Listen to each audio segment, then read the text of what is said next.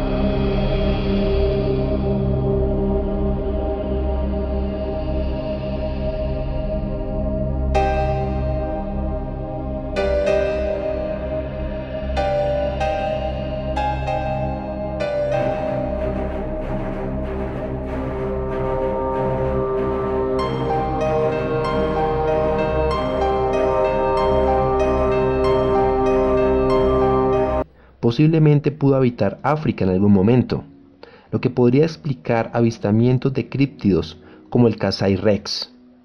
Lo cierto es que esta ave es lo más cercano a un dinosaurio vivo en la actualidad, sin contar con la posibilidad de que en alguna otra parte del mundo existan muchas otras especies de su género aún no descubiertas.